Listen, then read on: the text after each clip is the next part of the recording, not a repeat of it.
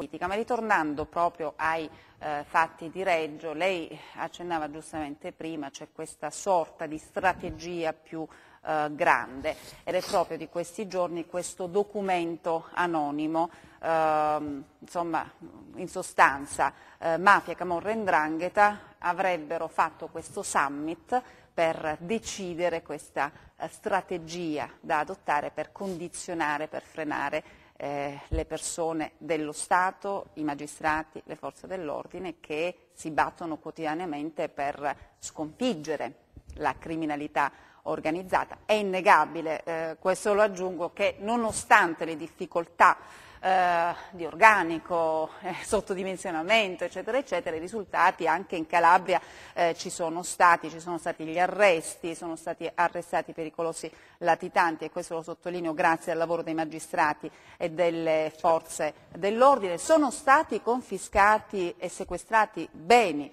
eh, appunto nelle disponibilità dei clan mafiosi, quindi si sa che indebolendo, privando le cosche del loro potere economico si indebolisce la consorteria